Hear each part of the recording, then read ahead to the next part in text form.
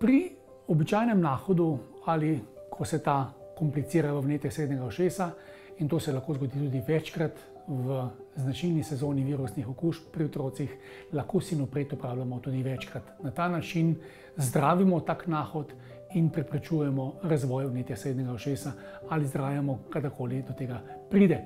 Sinopret sirup je zdravilo, ki deluje sočasno tako, da reči gosto sluzi v nosu, s tem je otrok lažje uh, izpiha ali mu je lažje se samo, s tem tudi ne zateka po vsaki cevi proti srednjemu ušesu.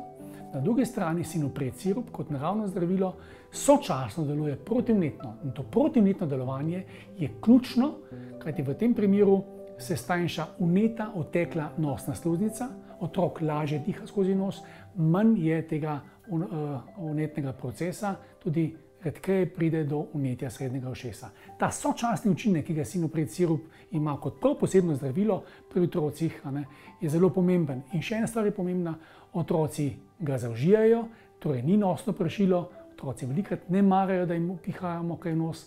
In na ta način, ko otrok zaužije sirup, ki je prijetnega okusa, je tudi terapija uspešnejša.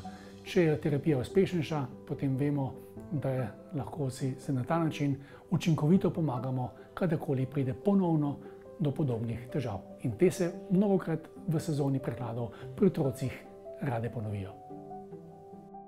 Farmedika, vaš partner pri zdravju.